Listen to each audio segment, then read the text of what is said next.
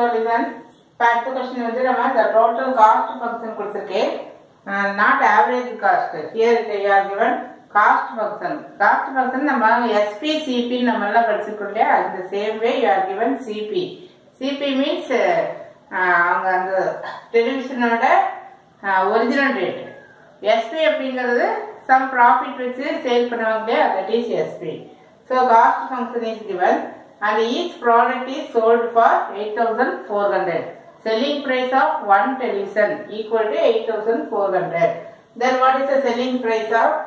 Here we are given there are x number of there are x number of television. X number of television uh, cost of one tv cost of one tv equal to 8400 Therefore, total cost of HPV equal to 8,400 yes. This is nothing but selling price. Selling price of not selling price of SP of 1 TV. Therefore, uh, total SP of XTV.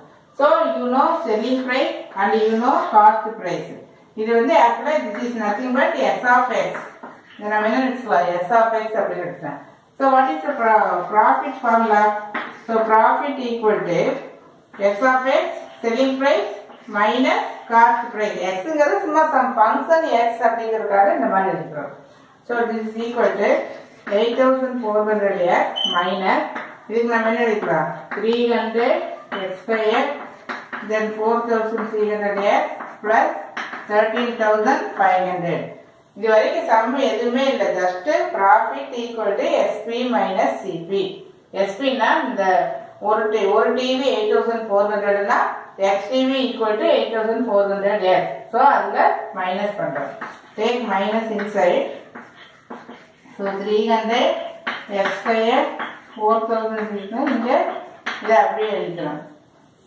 So இதுலேருந்து இதை மைனஸ் பண்ணினா four two then 0 0 yes minus this one then 13000 இங்கே 500 so இதுதான் நமக்கு என்ன கொடுத்துருக்குது profit இப்போ எப்பவுமே இன்க்ரீஸிங்கா டிக்ரீஸிங்கா நம்ம வந்து so that the profit is increasing இன்க்ரீஸிங்னாவே நம்ம என்ன கண்டுபிடிக்கணும்?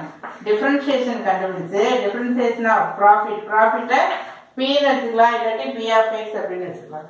அதை கண்டுபிடிச்சு நம்ம ஈக்குவல் டு ஜீரோ போட்டு you find the X value என்ன கண்டுபிடிக்கணுமா எக்ஸ் வேல்யூ வந்து we want to find so that இப்போ இதை டிஃப்ரென்ஷியேட் பண்ணும் டி பை டிஎஸ்ஆர் இந்த வீடியோவில் தெளிவான்னு தெரியல. அதனால இந்த இடத்துல மேன் எடுத்துக்கலாம் so this is equal to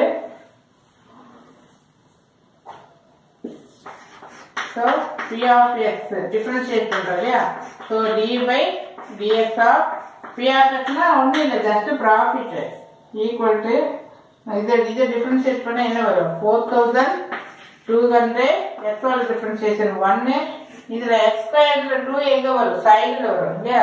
அப்போ என்ன ஆயிரும்? சிக்ஸ் ஹண்ட்ரட் ஆயிடும் then S two will come இந்த இடத்துக்கு வந்துடும் தென் இந்த இது என்னது? கான்ஸ்டன்ட் ஜீரோ அடுத்தது வந்து increasing increasing implies d by dx of profit equal to 0 அப்ப நம்ம இதுக்கு என்ன பண்ணிக்கலாம்?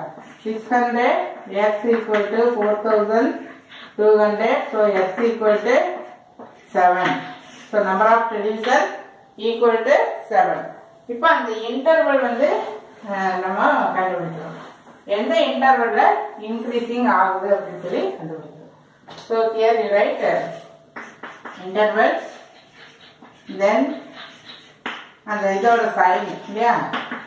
Sign of what D by DX of this profit then அதனுடைய நேச்சர் அது இன்க்ரீஸிங்கா டிக்ரீஸிங்கா அப்படின்னு சொல்லி கண்டுபிடிக்கணும். நேச்சர் ஆஃப் த ஃபங்க்ஷன் சொல்லி போடுறோம் இது வேற அழிச்சுக்கலாம் நம்ம இதில் தான் வந்து ஈக்குவல் டு அந்த எக்ஸோட வேல்யூ வந்து சப்ஸ்டிட் பண்ணுவோம் so what are all the intervals X equal to seven அப்படின்றப்போ zero to seven then seven to infinity இல்லையா?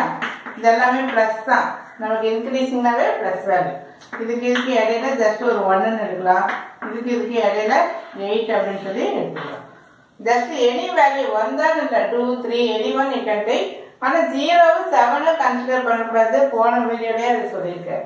இங்கே இன்டர்வல்ஸில் ஜீரோ டு செவன் அடுத்தது வந்து செவன் டு இன்ஃபினிட்டி அப்போ இதில் சப்ஸ்டியூட் பண்ணு இதில் சப்ஸ்டியூட் பண்ணு இல்லையா? வேணா எழுதி எக்ஸுக்கு என்ன சப்ஸ்டியூட் பண்ணுறோம் ஒன்று then minus three hundred one square இது வந்து தேர்ட்டீன் தௌசண்ட் ஃபைவ் ஹண்ட்ரட் எது டிஃப்ரென்ஷியேட் பண்ணியிருந்தோமோ அதில் தான் நம்ம நான் மாற்றி இதில் தான் சப்ஸ்டியூட் பண்ணணும். அதாவது டிஃப்ரென்ஷியேஷன் பண்ணி வச்சிருக்கிறோம் இல்லையா? அதில் வந்து சப்ஸ்டிட் பண்ணணும் இந்த இந்த இடத்துல இந்த எழுதியிருக்கிறேன் D by DX of that ஒன்ல சப்ஸ்டிட் பண்ணணும் ஸோ இந்த இடத்துல வந்து ஃபோர் தௌசண்ட் டூ ஹண்ட்ரட் அப்படியே எழுதிக்கிறோம் மைனஸ் எக்ஸோட வேல்யூ என்ன? சிக்ஸ் ஹண்ட்ரட் ப்ராக்கெட் எக்ஸோட வேல்யூ ஒன்னு அப்படி எழுதிட்டு அப்போ இதில் மைனஸ் பண்ணுறப்போ கண்டிப்பாக என்ன கிடைக்கும் நமக்கு? Positive so it is and increasing function in the interval in the interval 0 to 7 ல it is increasing so அடுத்த interval வந்து நமக்கு என்ன இருக்கு 7 to infinity so you are considering 7 to infinity இல்லையா அப்ப அதுல சம் 8 அப்படினுது அப்ப 4200 minus 600 into 8 ஸோ இந்த வந்து இது பிரேக்காக இருக்கும். ஸோ கண்டிப்பாக நமக்கு என்ன கிடைக்கும்? நெகட்டிவ் தான் கிடைக்கும். நெகட்டிவ் அப்படிங்கிறப்போ நமக்கு என்ன கிடைக்கும்? டிக்ரீசிங் ஃபங்க்ஷன் அப்படின்னு சொல்லி கிடைக்கும் ஸோ இதோட நமக்கு இந்த ஒரு கொஸ்டின் முடிச்சுக்கலாம். ஸோ ஸோ தட் யார் என்ன எழுதிக்கிறேன் for profit is increasing as one TV is sold for 8400 அப்படின்னு சொல்லி இந்த சம் ஓவர் இதனுடைய அடுத்த சம் வந்து நம்ம அடுத்த வீடியோவில் பார்க்கலாம் தேங்க்யூ